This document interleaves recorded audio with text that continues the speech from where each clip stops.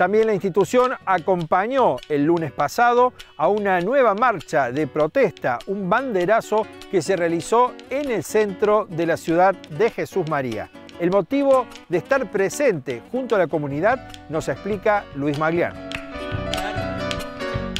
Mira, eh, eh, los ciudadanos se han autoconvocado en, en, distintas plazas, en distintos lugares del país,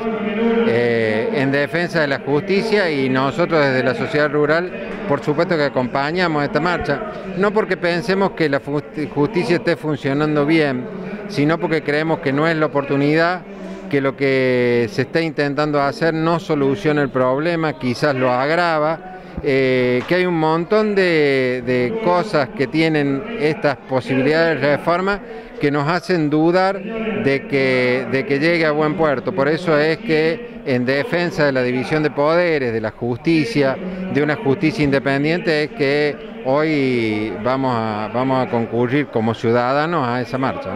Este cambio de discurso también sobre qué es cuarentena y qué no es cuarentena, creo que, el gran desafío que tenemos por delante es cuidarnos nosotros. Hoy no podemos reemplazar eh, las órdenes o, la falta de libertad de que nos establece el Estado, sino que es responsabilidad de todos, que nos tenemos que cuidar, que nos tenemos que cuidar nosotros, pero que tenemos que, trabajar, que, el país se tiene que mover, que la crisis que vive el país, que es grave, necesita de, que, haya libertad de trabajo y me parece que ese es el gran desafío, que cuidándonos, que tomando todas las medidas, incluso eh, digo cada vez más tomando las medidas de distanciamiento, de, aislarnos, de cuidarnos entre todos, pero eh, con la posibilidad de realizar nuestras actividades.